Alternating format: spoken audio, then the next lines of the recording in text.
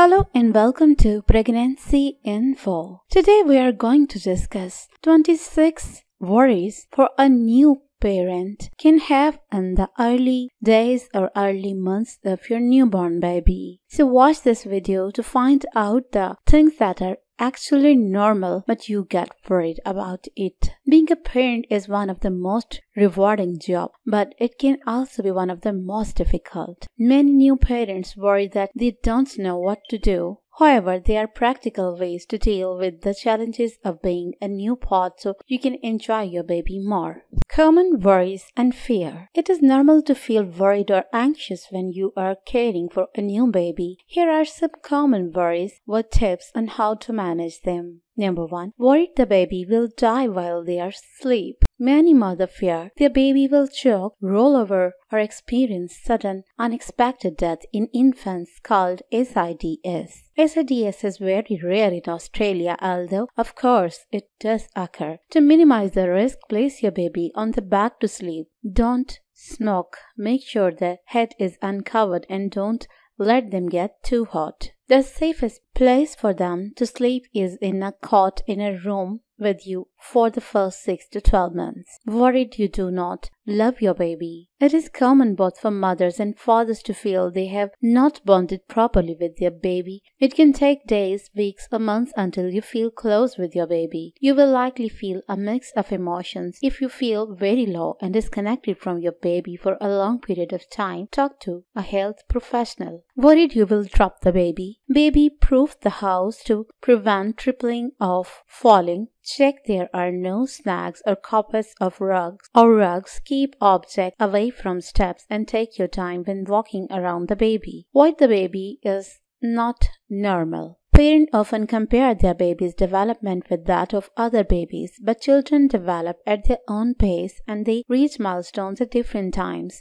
About 10 to 15 percent of child experience a developmental decay of some sort before they are age 3. Get your baby's developmental routinely checked using the checkup sections in their child health record. Trust your instincts and if you are worried, talk to your healthcare professional. Worried the baby is crying too much. It is normal for newborn babies to cry a lot. Crying increases at 2 to 3 weeks and peaks by 6 to 8 weeks. It is more common in the late afternoon and early evening. If the crying sounds different or if you are worried, check with your doctor. Worried the baby is sleeping too much. Some babies sleep most of the time other wake a lot. For the first few weeks, your baby should be having 8 to 12 feeds in 24 hours. As long as your baby has plenty of wet nappies and mustard color poo, there is unlikely to be a problem. Worried about money. Many parents worry that they will not be able to provide financially for their baby. It is important to start planning before the birth and to budget once the baby is born. You may also be entitled to government assistance, including parental leave, pay, family tax benefits, child care benefits, and a parenting payment. For more information, visit the website of Australia Services. Weight gain.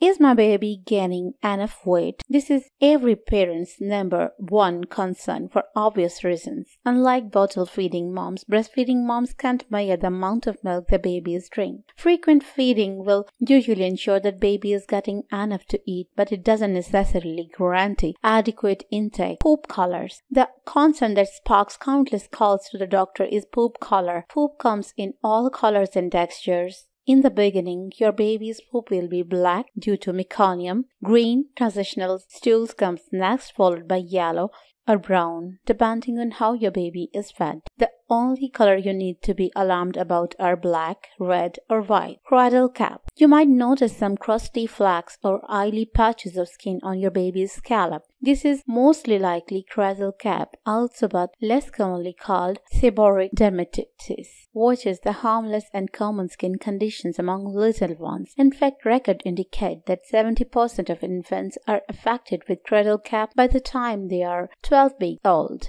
Bow leg.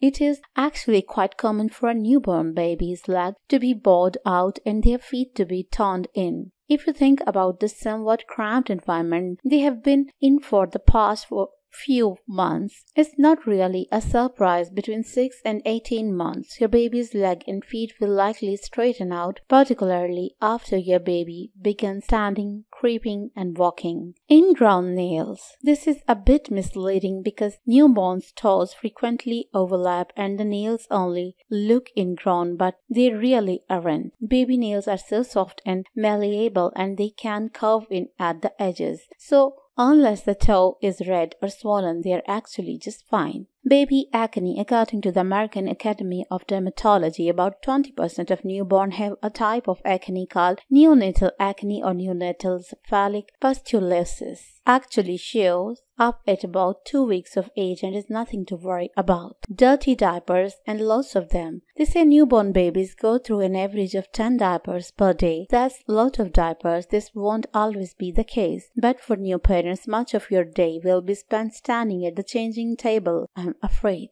Sneezing. It's funny, but it's common for newborns to sneeze a lot, which shouldn't be mistaken for an oncoming cold or allergies. In fact, infants are too young for environmental allergies. Rather, babies are recently normal to environmental situations and just clearing their little nasal passage to keep air moving through. It's a defense mechanism to clear out the nose spit up and vomit. The difference between spit up and vomit is frequently not forcefulness. Spit up can absolutely fly across the room, but vomiting is an all about frequency. If your baby is vomiting with a gastrointestinal virus, she says, it will come every 30 to 45 minutes regardless of feeding. Spit up, on the other hand, is usually related to feeding. Random jerky moments. Baby's random jerky and spastic limb flailing may be a bit jarring to watch at first, but just keep in mind it's all part of the course. In those first few months, baby will be dealing with a lot of developmental changes, one of which includes honing their startle reflex, oddly shaped head. Giving birth is a tough job, plain and simple. But remember, it's not just you doing all the work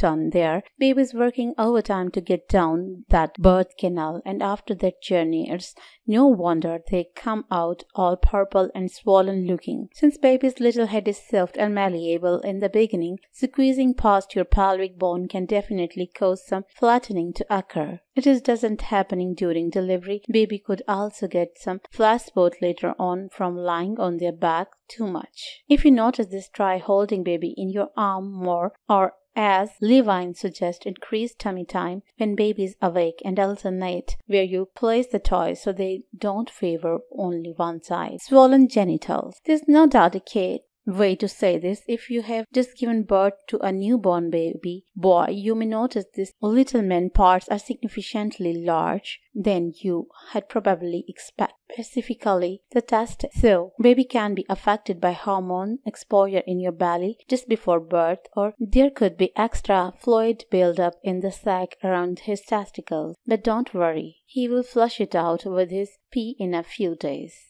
Blood in the diaper. Spotting even the tiniest trace of blood in baby's diaper is enough to freak out any new parent. But the truth is, it's not always cause for alarm. There are many reasons why it may be happening, all of which are temporary. If you have just had a baby girl, she may be experiencing some extra side effects from being exposed to your hormones in utero, crossed eyes. In the beginning, a slight case of wonk eye in baby is expected. Baby still trying to sort out all of their newfound abilities, including their sense of sight, and it can take some time to gain a little muscle control and hone those focusing techniques. Pulsing soft spots. Everyone knows that babies have soft spots, fontanelle, but most people aren't aware that they actually pulse. When you think about it, makes sense. This girl hasn't fused together yet and you are seeing a direct glance of their pulsating heartbeat. Babies have soft spot on their head called the fontanelle. The fontanelle is tougher than you think. While you should always take care of your baby's head, you can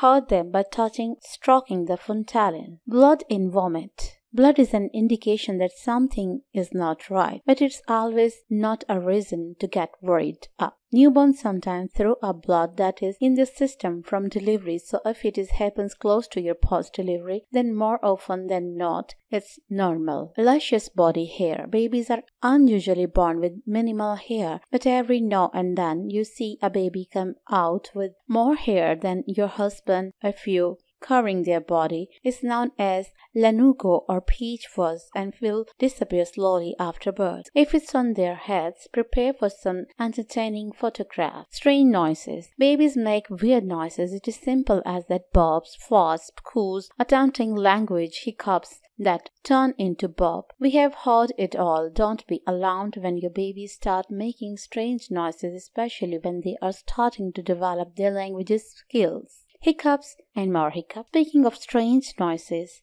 babies hiccups a lot. The simple theory for this is that their breathing and swallowing having found a good harmony yet they hiccup often. They will outgrow it as they get older. Irregular breathing habits. While it's alarming to think of your baby as having irregular breathing habits is usually normal. They are still learning how to regulate all of their involuntary muscle movements, including breathing. Small cuts or scratch. One of most alarming things as a new mother is seeing your baby covered in small cuts or scrapes. How did they get there? Babies are born with fingernails and sometimes they are quite long. It's easy for them to scratch themselves, so protect them with a cozy part of scratch mitten until their reflexes calm down. I hope I have explained all the 26 worries that are actually normal. So, if you find this video useful, then like it, share it, and also subscribe my channel. And you can give your precious opinion via comments. Thank you.